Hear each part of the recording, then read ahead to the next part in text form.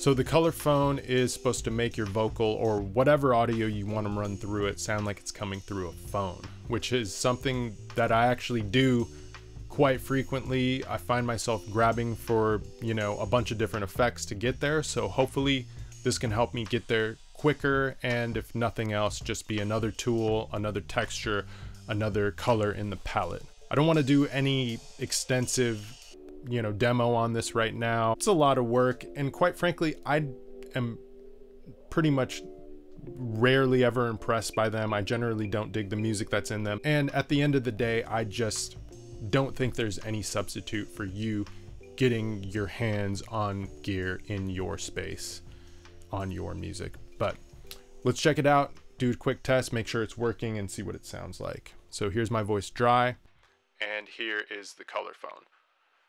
Again, dry and with the Colourphone, and it kind of sounds like it does what it's supposed to do, like a lo-fi pinched upper mid-range phone effect. So let's bump up the drive and see how it distorts. And let's just go all the way. Obviously, you can get a lot of distortion. You could push more level through it and get more distortion.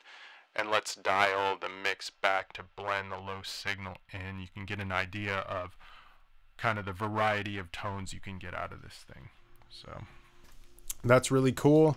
Uh, this is Colour Duo that the Colourphone sits in or any of the other colors.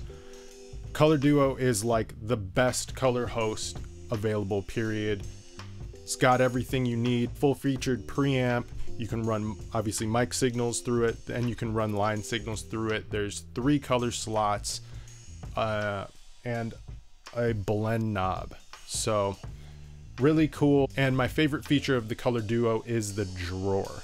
It seems like such a easily overlooked thing. Oh, well, you can do that with the 500 series thing. And yes, you absolutely can, but just something about how elegant the screws that sit in there and stay in there and the sliding mechanism of the drawer just really encourages me to swap modules more, which is a big part of the fun of color and and and the the power of color to have the flexibility to exchange modules. So I'll link to DIY recording equipment in the description.